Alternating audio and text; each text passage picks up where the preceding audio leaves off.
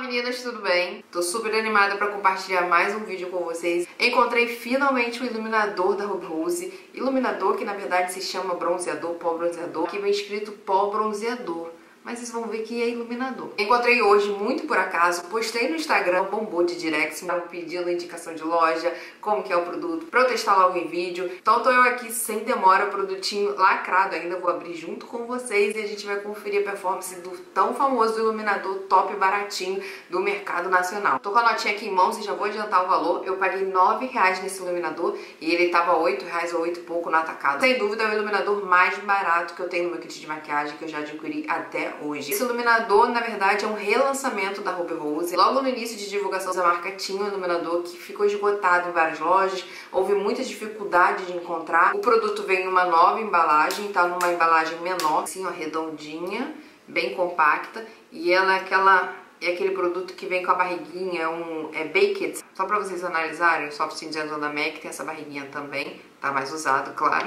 A embalagem anterior era um pouquinho maior, um pouquinho mais espaçada. A linha anterior eram quatro cores de iluminadores. Agora a linha conta com seis cores. Então tem desde o bem mais clarinho até um pouquinho mais intenso, um pouquinho mais escuro, que dá pra usar tranquilamente como pó bronzeador, dependendo do seu tom de pele. Eu adquiri o tom número 1, um, que era o tom mais comentado na época que foi lançado esse iluminador, que muita gente falava que parecia com o Tint Azul da MAC. E já pelo produto em si, vocês conseguem ver que é um tom bem perolado, muito bonito. Vou passar o dedo aqui pra gente ver a pigmentação.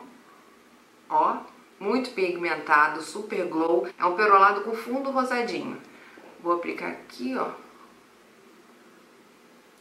Eu testei o 1 e o 2. Eu fiquei muito em dúvida, só que eu achei que o 2 era muito mais rosadinho. Eu particularmente gosto de iluminador mais perolado, um pouquinho mais clarinho. Vou aproveitar já vou comparar aqui com o Soft Cinzento, mas eu acho que é diferente, ó. Pelo tom a gente consegue ver. Não é tão diferente, mas pessoalmente o Soft Cinzento parece mais champanhe. Deixa eu passar o dedo aqui. Ó, a textura é muito parecida. Esse aqui é o da MAC e esse aqui é o da Ruby Rose. Olha, vou aplicar aqui no rosto. Inclusive até comprei um pincelzinho novo para aplicar iluminador. É o leque da Macrylan. Foi 4 reais, se eu não me engano, esse pincel. Foi super baratinho. Eu gosto de aplicar iluminador seja com os dedos ou com um pincelzinho um pouquinho mais fofinho. Até pincelzinho de esfumar mesmo. Mas eu vejo tanta gente aplicar com esse leque aqui que eu vou testar também. Vamos lá. Vou esfregar aqui.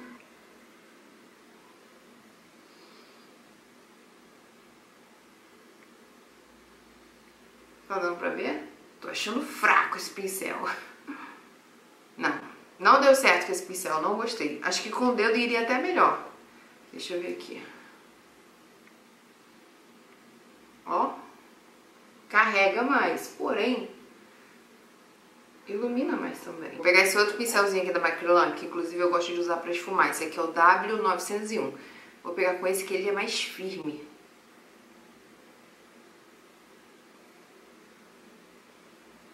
Que, que vocês acharam?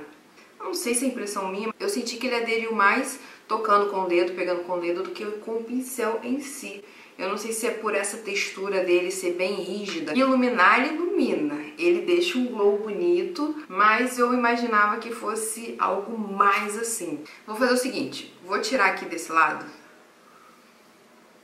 Vou aplicar de novo um pouquinho de base. E aí vamos aplicar de novo. Vou fazer como algumas meninas fizeram. Umedecendo o pincel e vou tirar aqui também desse lado e a gente compara com o da MAC, já que eu tô mostrando da MAC, da MAC desde... Pronto, apliquei base de novo, refiz a maquiagem. Vamos tirar a prova pra ver esse glow iluminado que muita gente falava também, né?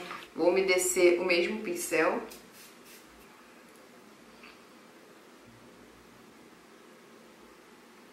De fato, umedecendo o pincel, o glow fica mais forte, fica bem mais evidente do que o pincel seco. Olha o iluminador aplicado que, que vocês acharam? Bonito, né?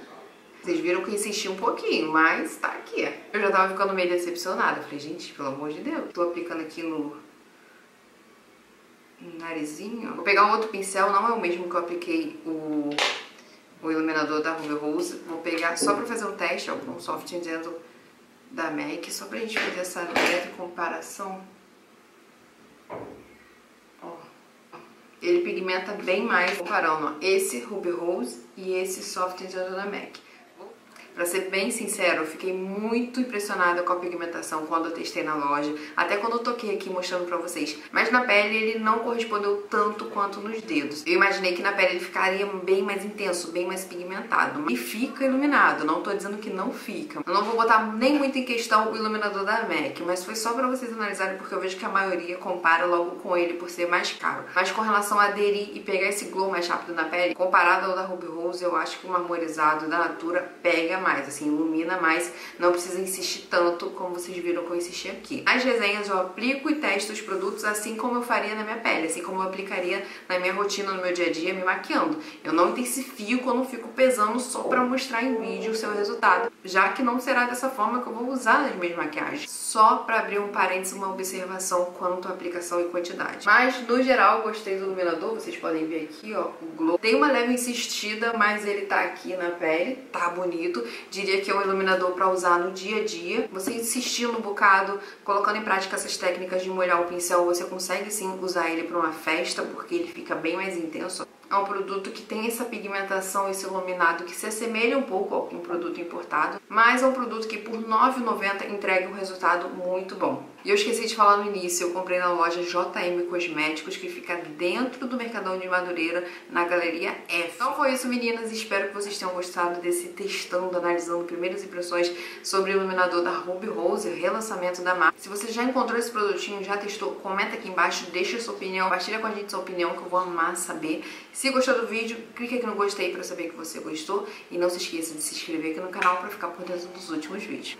Um beijo, fique com Deus e a gente se vê no próximo vídeo. Tchau, tchau!